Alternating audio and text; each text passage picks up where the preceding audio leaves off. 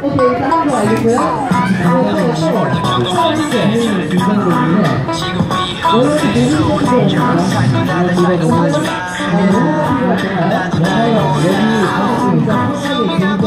오늘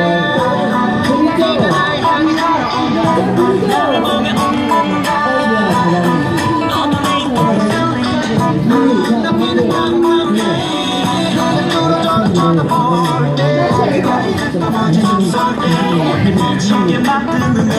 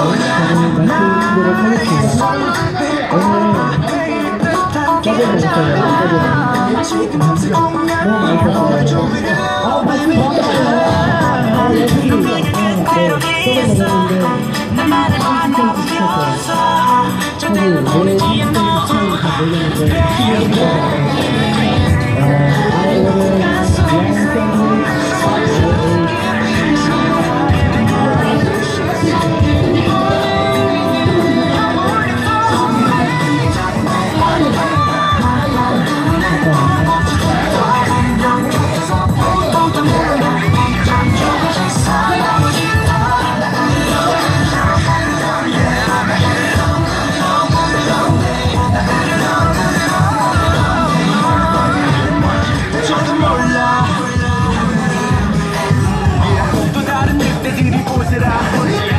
너무나 완벽한 내 여자라. 품속엔 부드럽게 너를 안고 너만을 위해서 나는 난폭해지고 결국엔 나는 자가 없기 때문에 자리가 없으니까